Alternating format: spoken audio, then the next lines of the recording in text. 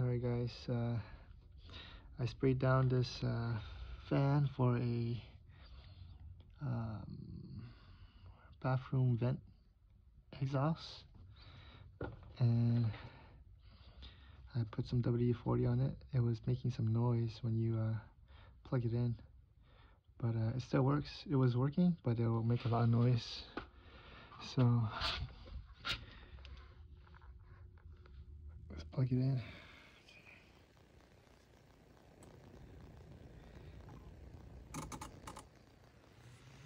See it's making a like really loud noise now. It sounds really good now.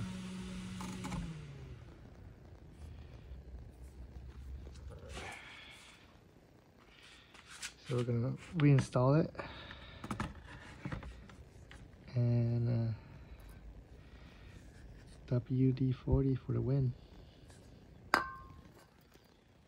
We're gonna clean it up a, a little bit here. And we're gonna wash this uh, screen. All right, have a nice day. Sometimes you just need a simple uh, lubricant and you got yourself a brand new motor, basically.